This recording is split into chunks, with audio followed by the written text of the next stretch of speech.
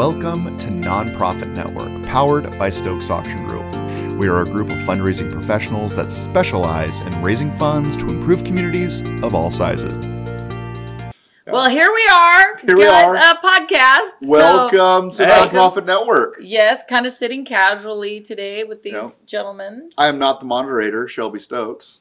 Holly Schinfeld here. We're about ready to celebrate the June solstice. That's why we yes, have it's coming up. Coming up. Stay tuned to our Facebook page because we're going to put a welcome to summer picture up that we're trying to figure out, which our two almighty leaders will really appreciate me for.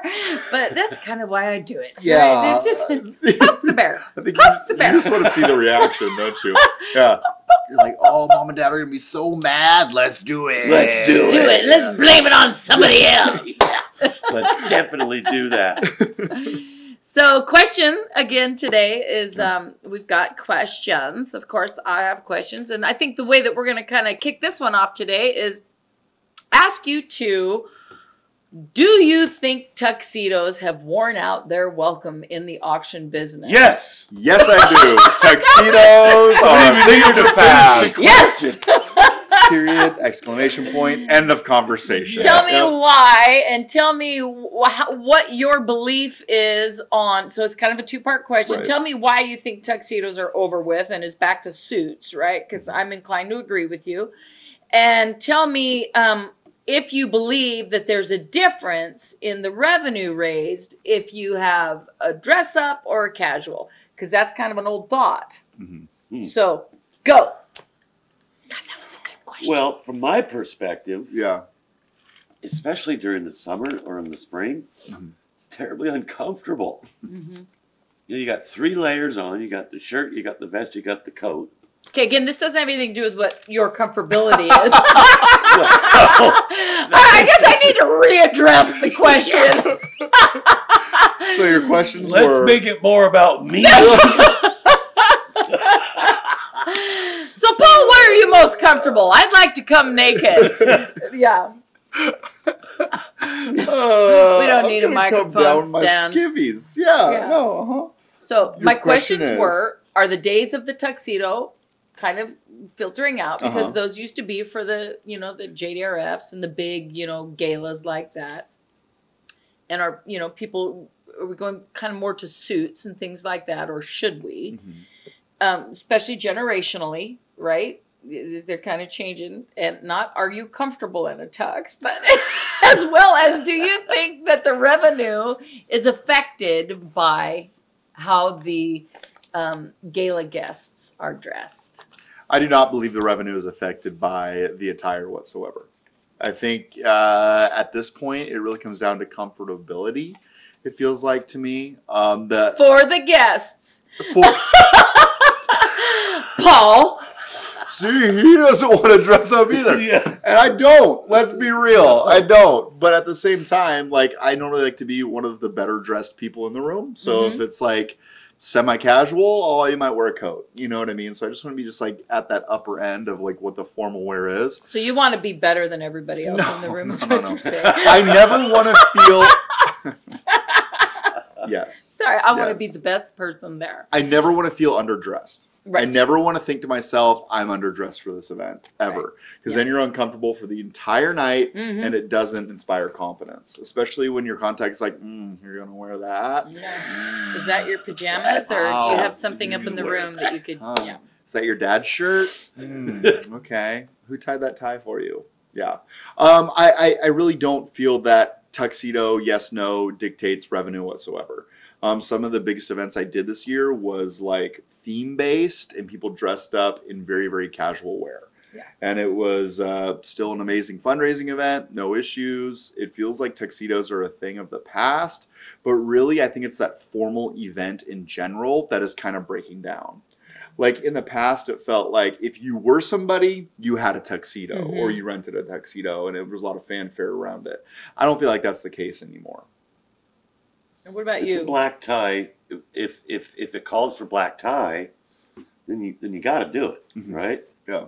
You got to Well, do it. or or you know, I mean, do you have to do it, or is it, uh, can we be the change in that culture, or not? Or are we going to follow suit? Oh, so not very funny of you. Very funny of you. Well, I mean, I am the one that said about 18 months ago, I'm going to start wearing sneakers and never wear dress shoes again. And you haven't done it yet. And I still to this day wear dress shoes um, more than sneakers. If I can get away with sneakers, I'll wear them, but it feels like I need to be in formal shoes. And if, if there's one person on our team that came and said, "Oh, nice sneakers," ever since then I haven't been able to wear. Oh, them. is that right? Yes. Okay, so Mhm. it's it's a confidence thing. I have, Well, I have seen like yeah. like like our local newsmen and women. Mhm. Not- Oh, I see so it at much the galas all the time. But Do men, you? yes. Yeah. Tuxedos and sneakers. And sneakers are, are, are a thing. Or I'm like, suits. I want to do that. But they got to like- be nice sneakers. They gotta the be nice. problem. Yeah, they got to be nice Yeah, sneakers. You they can't gotta be. wear your You can't wear your nubby your old mower New Ba- shoes. Yeah. Sorry about the hole in the toe, but oh yeah, these are vintage grass green. Don't worry about it. yeah.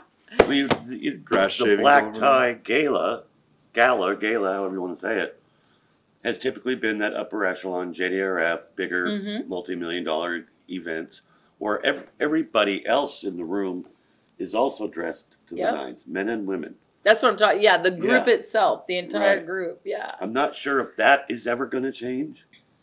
But you know, think about how the style of the tuxedo itself has not really changed that much. Very limited, very small. It am- really hasn't, uh, changed. you know, styles change constantly in our society, as we know things come and go.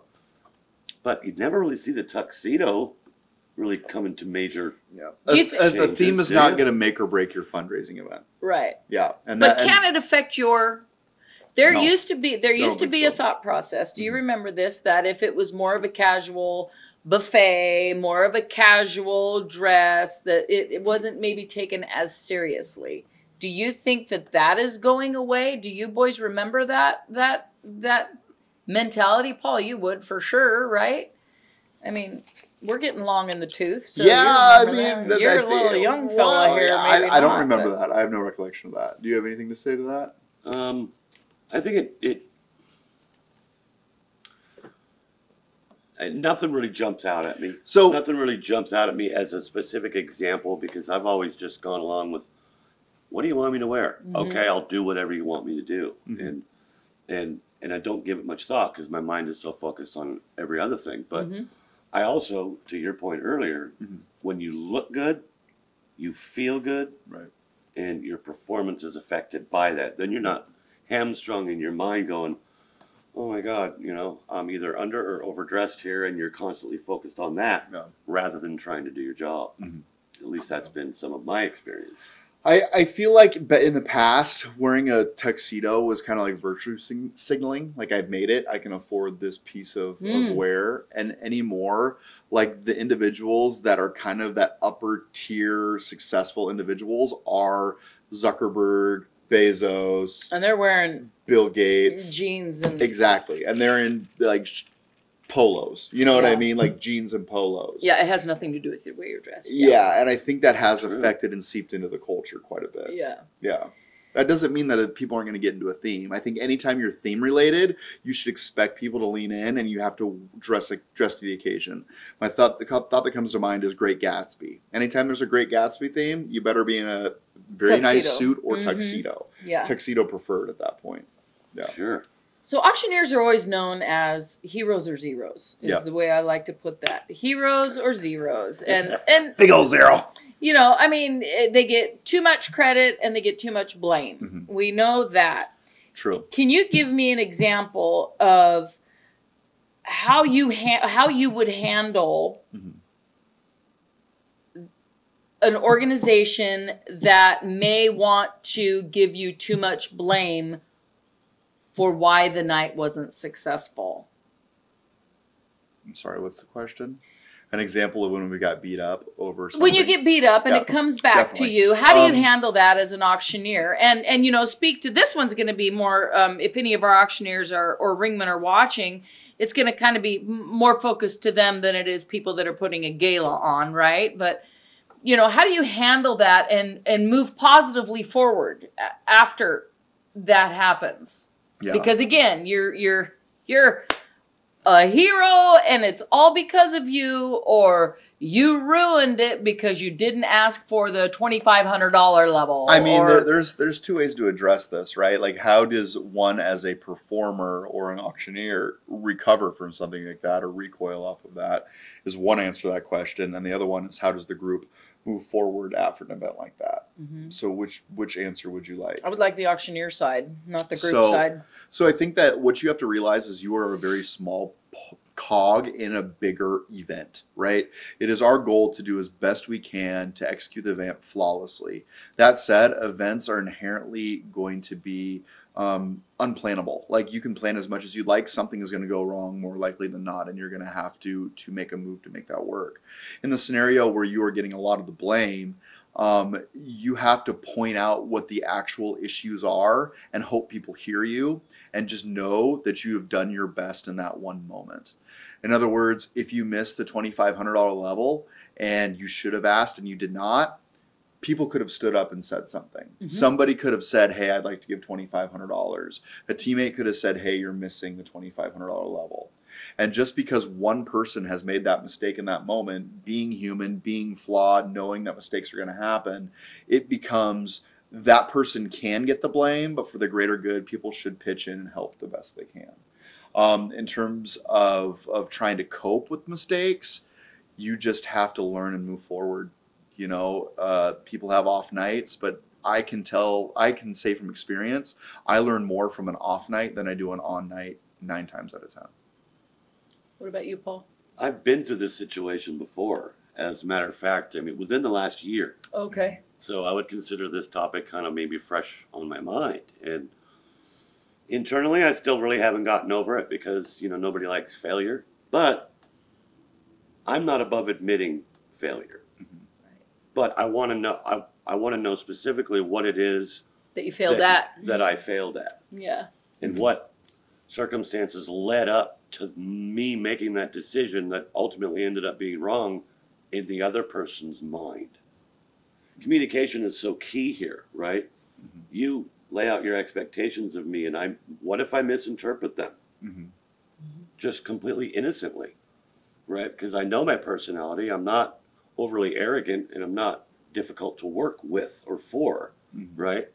I'm very open minded, have always have been. And I think that is uh, integral into somebody's success, being able to work together with people. Um, this was completely, totally a misunderstanding. Mm-hmm. I heard one thing when the person's intent was a completely different thing. So in that moment, when I said, "Hey, he offered 30 spots on his by the head. I got 35 spots. Can you do five more?" On the mic in front of everybody, Mhm. he felt trapped Gotcha. because Gotcha. he was in front of the entire audience and he didn't previously give me permission to do that. But during our conversation, he didn't specifically tell me not to. Mm-hmm. Well, and you So- guys, and in the end, the way I handled it was I fell on the sword and I said, Yes, he's right. He never gave me permission. He never said not to, to defend myself, but he never, he did not give me permission. So, in effect, he's right. yeah. And I'm sorry it happened. And, uh, you know, I learned something from this, which I did, because now I know. Mhm. That'll never happen to me again. Right. Right. Hey, Shelby, you've got 30 spots. What if I get 32? Is that okay? Yeah. Yeah, 32 is okay. How about 37? You know to No. ask that question. You know to ask that question. Now I get that Mhm. exact number. yeah. Exact number.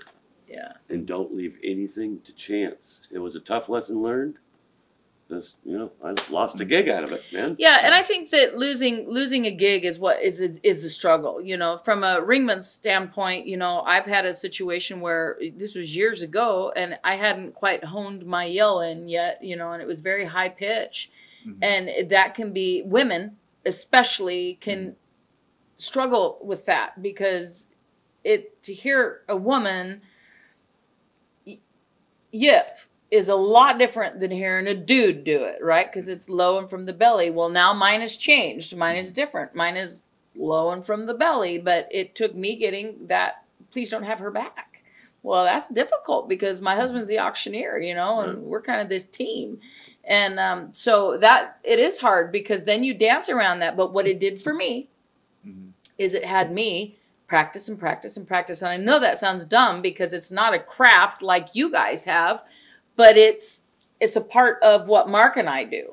So I had to really drop that down for me and, and get that handled so that I could, you know, and I addressed that person the next uh, event. And, and they said, don't bring her back. And I says, I just want you to know tonight I'm recording. And come to find out, it was a misunderstanding, you know, is that there was a person there that, to be quite honest with you, was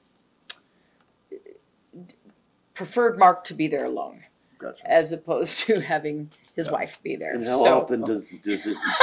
Oh, didn't this is the first time hearing the back end of that story.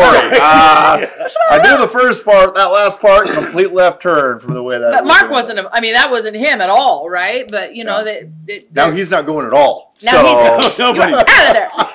But you know, I had an annoying hip back then, probably too. You know, but and that was the you know talk about falling on a sword. That's it, right? But you know, some people also don't like women to be involved in that. It's a I mean, I, I'm coming to the point in my in my life cycle where I realize that I'm not for everybody, and I think that's what you have to realize. it is like you know, you add the initial question was, well, how do you cope with like being a zero? Um, I've had those events, and I walk out of there not feeling good, knowing it's not going to be a good review, and then I get a negative review, and it sits on my mind. Mhm. So I'd rather not even go. You know what I mean? So if if you would like somebody else, then go for it. You know, you want to work with people that want to work with you, and if you do swing and miss, and it happens, you got to move forward with it. You really do. Um, anybody that's going to completely blame like an auctioneer for the entire event falling apart also might be concealing some issues or insecurities that they have on their own. right, You know what I mean? Well said. dude. right, and that's very very possible. Absolutely. You know what I mean? Don't look into yourself. Let's look to blame others. Uh, yeah. Yeah, and- exactly. And again, you know, you Yeah. said something earlier that's really key is that human. We are human. You are human. You are on the microphone, and at any given time, the spotlight is on you. Mhm. Even though you are not trying to be the spotlight, you want the the um, bidders to be the spotlight. You know, that's one thing Mark always says. You know, they got a camera that's going to follow him. He says, "Don't follow me. Follow the bidders. It's their night. It's their party. It's." It's them. I'm just the caveat to it, Mhm. right? Because he hates being on the camera. Besides really that, good. But yeah, of but anytime that's they really want that. that's a really good note for a It videographer. Because, like, I mean, It we've been there. Yeah, you're going to be on camera. You're like, okay, uh, whatever, Great. move on. But I like that approach. Of yeah, saying, Mark Mark do just he put does. the bidders on the camera. He says, "Don't worry about me. I'll I'll be." But uh, you know, j- get that get out in that audience and look and see who's bidding, and then try and keep up with who was the last bidder and play that game so people can watch it happen. Right. You know, That's the part So they want to see. That's the part they want to Brilliant. see. Right. It is brilliant. Yeah, for sure. Yeah, That's but Mark is brilliant. Well, Mark Well, Brown, yes, of course. I mean, Brown. really. You're saying that as if you're going to put a picture of him on the internet. He's not going to like. And it's not that he's not gonna like it. It's just that it's, It's just that he's gonna hate it. it's not that he's Yeah. gonna And he hate doesn't it. have a choice. It's just that we're all going to enjoy it at possibly his expense. I think people should be more uh, open to accepting the fact that they make mistakes. Okay, that being people that said, that being so- said, Who can't accept the fact that they make mistakes. I, I just don't understand that philosophy. well, part of that's a protection advi- uh, thing because they are accept they they do realize they make mistakes, but they Let- ju- they just have to get let it me into. let me play devil's advocate though. Like you, you are paid to do the right thing in this moment. hmm We have paid you to grab that microphone and raise as much money as you can and act accordingly. and act accordingly. So when you don't do that, you're going to hear about it. hmm And I don't think that's unfair. That's a good point. You're right. I don't think that's unfair. You're right. You it's know, not unfair. if I pay somebody to mow my lawn and they sh- don't show they mow half a lawn one day, they're going to hear about it. Mm-hmm. You know what I mean? if we paid you to do a job, we have. But if you paid them to do to mow the lawn and you wanted it to be crisscrossed and you don't tell them that and they don't crisscross it, it is not on the person mowing the lawn. It depends on who the judge and jury is. Oh, they we're, should we're not talking about lawn, by the way. We are not talking point, about lawns. My lawn needs to look like the outfield of the Mariners. Okay. Yeah. Politics. What about politics? Politics. Do you engage in political conversation at all at an event? No. No. Oh, that's No. very fast. No. Nope. Uh-uh. No. No. thanks. Have you? We don't want to. Ah, Yes. The pause. Probably. I mean, I, I, I don't, I don't know. I mean, there was a time there where there was news going on about politics every day, and for me to say I didn't discuss it on site would seems like pretty outlandish. But uh, it's not. It's not my go-to. It's not your go-to, no. But let's say you get sucked into a conversation, and this happens where you're you don't want necessarily the person that you work for to know your political views because those are very personal and very private, right? But they are trying to pull you into a political conversation Mhm. because they want to know where you stand. We, yeah, we, there's a guy that we work with that does this all the time. And so, so You know what I'm how do you handle that? Okay, I never think so. How do you I- handle? How do I you handle being so. try being pulled into a political conversation? You try to get away as fast as you can. Yes. Run, run quickly. Hey, I gotta go do some Oh, silent auction shoot. announcements. I got- I got, I gotta close the silent. I got. I have got a irritable whole bowel bunch- I got a whole syndrome. I bunch of need to nothing go. going on, and I got to go tend to it right now. yeah. Uh huh. Yeah. Oh, I think I triple parked my car. Okay, Yeah, so uh-huh. so how do you handle that? Uh, I, I kind of yeah yeah I'm gonna go yeah uh huh uh huh and then walk away. I would do the same thing. Yep. I would do the exact same thing, and I've done the exact same thing. Probably with the same guy. Yeah. Uh, the same thing. I don't want to engage. It's, in my personal opinion, right now, it's especially dangerous. Very dangerous. And I just think that, you know, if you're in that professional environment, you want to be respectful to the individual talking to you. And you don't have an opinion that night. Only about the gala, right? You shouldn't have an opinion, or should you? And how do you handle that? It- For me, it would, it, it, it would depend on who it came from. It's a dicey. It, It is, is a a dicey dicey question. question. Dicey. Is it coming from the executive director that hired me, or is it coming from a guest? No, I'm talking about the team that hired you. Okay, so your primary contact is trying to get in a political conversation with you. Yeah, and if and and and is and it's uncomfortable for you to not respond, yet you know you can't respond because your view is way different than theirs. Well, I'm very masterful at avoiding conflict when I'd like.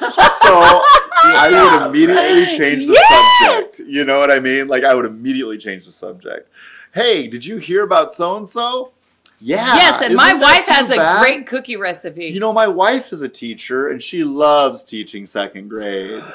I'll be like, we weren't talking about that. I'll be like, yeah, you're right, but I don't want to talk about that. ah, ah, ah, you scared me. However, you possibly can get away in a nice, respectful way, So, at the best you can. Get yourself out of that situation. so it's. Right. Abort! so here's, Usually, I gotta go to the bathroom. Here's a pretty. Here's a pretty. right now. So during the I go pandemic, we did a lot of virtual shows. Hence this beautiful studio. Oh, it was right now. painful sometimes. And there was a virtual show where one of our guests put in Donald Trump as their bidder's name. yeah, And this was at the height right. of like. I forgot Remember about this? that. Remember this? I do. I and it was Wow. Right at the height of the political turmoil that was going through this country. Oh, where shucks, I you were, like, remember one way or that. the other. Oh, and it was like, oh, Donald Trump is bidding again. I, I can't say that. Can I say that? Can we say that? I don't know if we should say that. Yeah. Oh, it was hilarious in hindsight. In the Yeah. moment, we didn't know what well, was funny then too, but we didn't know what to do or how to handle that. How did we handle that? Can you remember? We'll have to go I- back I- and watch. I think that we never actually said Donald Trump.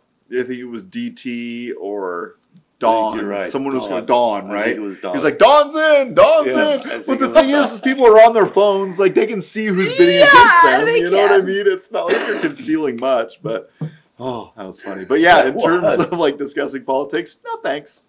No Yeah. thanks. Yeah. That and like the, the swing of politics in America in general is just crazy. Like it Too changes. Yeah. from week to week to month to month like it's i can't keep up with it anymore and i'm kind of choosing intentionally not to keep up with it and i'm a lot healthier for it Yeah, and I think that I you are. Yeah, we all are when we don't pay attention. But Yeah. you know, I think that um, people try to engage differently to give you the feeling of one unit.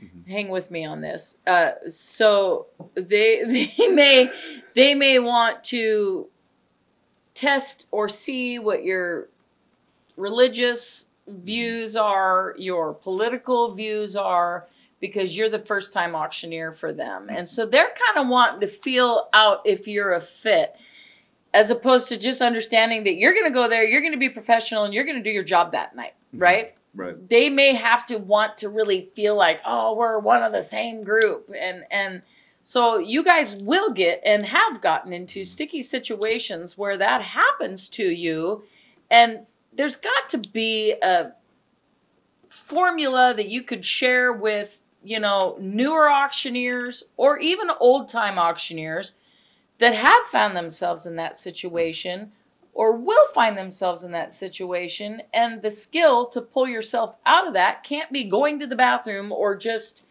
you know, is it okay to say i think that that's probably not uh, an appropriate conversation for us No. no I- because don't that pulls them away Yeah, no, I think because that's negative. You always That's want to be yes and and building together. I think that like as a person in this line of work, it's very unique because you are consistently like gauging where you are in an environment. Like you are constantly taking context clues and putting them to work for you. Okay. Like if you walk in and you get a story in a certain vein and then you make a joke and they find that funny, we now know that something in this person's mind is funny. Test Therefore, you can you can move like I can't bring that up because that was before we started recording. But like, uh, just uh, God, I, I can't come up with an example right now. But if you find like a certain type of humor works better than the other, then you push in that direction. Mhm. And the same is true with like getting to know people. Like if you walk in and it seems like it's politically one way or the other, you can kind of push in that direction, but you don't necessarily want to fully commit in any one direction. what do you Does think that paul sense? then i have only one last question Well, I think that, you know, when in France, you know, do as the French do. Yeah. I do a lot of Catholic school auctions, and I am not Catholic. Yet I What? keep going back, right? Great. Now we So- have to delete this episode. now we have to When- delete this episode because paul's not catholic So when the father gets up there and prays, and everybody be, shuts up, and everybody bows their heads, so do I. well but that could be out of simple respect for the crowd that you're in as well That is exactly my point. yeah That is exactly that's my point. That's acceptable If you are in that environment as a paid individual, and you're there to do a job, you got to kind of assimilate to this crowd to a certain degree. Mhm. I mean, you. I can't be openly like, no, I'm not going to pray. I'm not Catholic. sorry you guys go ahead. just give me a 'Cause I'm cigar and a probably scotch standing right next to the stage, and everybody can see me, right? Mhm. Probably looking at us. Right. So you just yeah do what everybody else does. yeah You have to kind of try to be a part of that group, even though you're not a part of the uh, the church organization. In with that particular example, shake hands or hug Depends. It, it depends on the individual. Like it like for, like like I have given more handshakes in the last three years than I have ever before, and it's because of the cancer cancel culture that we're in right now, Which is cancer. peop- well, cancer culture and cancel culture, two very different things. No, but Um, it, that you know what I'm saying. But but but the there are many individuals that are very sensitive right now, and that's okay. Mhm. Like that is something that is real in our world, and we have to respect those boundaries and those opinions of people, because it's the world that we live in, and everybody is created equal, and needs to be treated equally, in my personal opinion. Um, if somebody were to see a hug as me establishing dominance in a relationship, that is a problem. That is a problem for me. That is a problem for that person. And if it's a problem for that person, it's definitely a problem for me. So I will normally kind of like Right. give like an awkward thing. talking. But see, like this, you're initiating this. You're initiating it.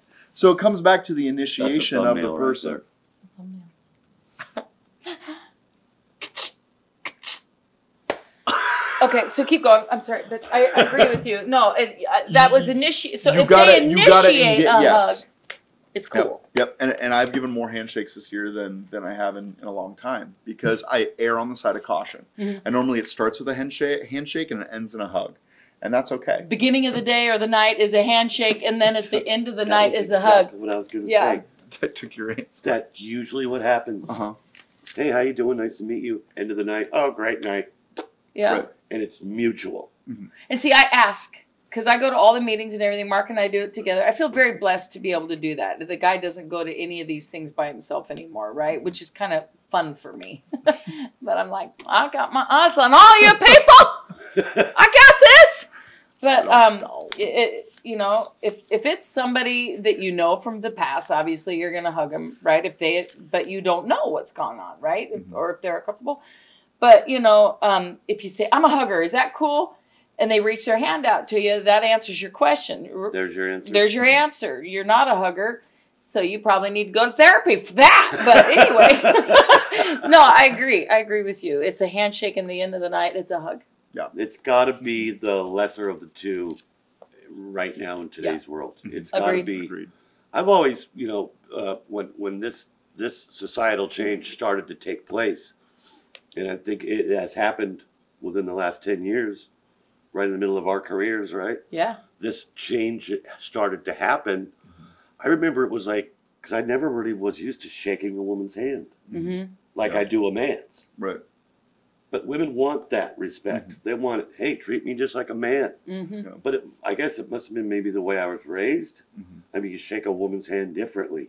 Mm. But now you don't do that. You got to do it just the same as Oh God! If somebody shakes my hand and it's like, eh, Wait, I'm what is like, this? What is mm, this female handshake? This is gross. Yeah, I This mean, is, that- Hi, nice to meet you. No, But get I- in there and just, hey, kind of chip out here. Oh, Nice wow, to I meet you. felt Wow. that. I How felt I had to be shoulder. Shown almost that. dislocated 'cause I didn't. I didn't know that.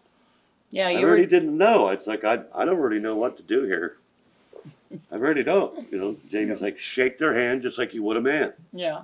Okay, So, she's right. Yeah. What's Fist bump, brother. Yeah. Yeah. I uh, yes, I'm a That's fist also a now too. Now that's fist a- bump. that's It is a thing. yeah. I don't do the fist bump. I don't like the fist bump. If the two of you ever fist bump me, we're gonna have a prop. Nope, not even a. F- oh, you Good thought You're that? not Oh, a fist cool. bumper. Why? I, I just, you know what? I'm a hugger, or if you need to shake my hand, great, whatever. But I, if I hug you, that to me is a, a real connect.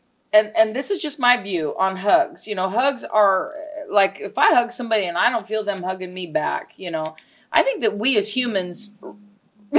I think we as humans, like there's one person that hugs me and they hum when they do it. Don't hug and hum. Don't do it. It's We're wrong. saying it here. It's so if wrong. If you're giving a hug, do not hum. Do not hum That is during yeah, your hug. hum. Don't do it any makes noise. it weird. It we don't want does. to make it weird. Don't do So it. what do you do weird. if the individual you're approaching leads before you do and addresses a gives you a fist? I haven't had And you're that waiting happen. and they're waiting for you to We're either gonna we're gonna test her now. fist bump or what do you? I do? will never fist bump the two of you. Period. Um, I will look at you like, what is your problem? Do you have something in your hand you'd like to give me? Because do you have a cookie? What's Do what you is, have a what's the cookie? matter with you? But you know, if So it's what do you if, do? I haven't had that happen. I guess what I would do if somebody, you know, was standing there with their fist like that, I'd put my hands on my hip and say, "All right, uh, but you know, I, hugs over here. yeah, I'm I'm gonna I'm gonna either shake your hand, make it mean something, because the the handshake is a, is a, it you know it's a greeting, it's a one, but I can't stand this. No, Yeah, see, number I- one, the number one reason is is because ladies, let's talk about the arm flap. They do that, and then your arm flap. No, I have an arm flap, but you Arm- don't sit. Are you are So you you afraid you're gonna that. take off? Yeah, you don't need, you know, you're Fly doing right this away? wiggle with my hand, and I'm like, what Take is that? No, one hand. boom, and you're done, and I'm out. Well, if you came here to figure out how to socially greet individuals physically, we are here for that. hey, we yes. It's a hug, a handshake, or a fist bump, and you figure out how close you are with your friends following that interaction. It sounds like. So those are our questions today. So I would hope that you guys would be watching this and say, "Wow, Kelly Schoenfeld sure does ask some great questions." But in Right. case you don't think I do, please Send one in for me to ask these gentlemen, There we go. these gentiles. Now accepting questions. We appreciate you hanging out with us today. Thank you for being here this week and every week. This will bring us to a close on the Nonprofit Network, sponsored, powered by Stokes Auction Group. Today on Social Issues with Paul, Kelly, and Shelby. Thanks for joining us. Social issues. Bye, guys. Bye, guys.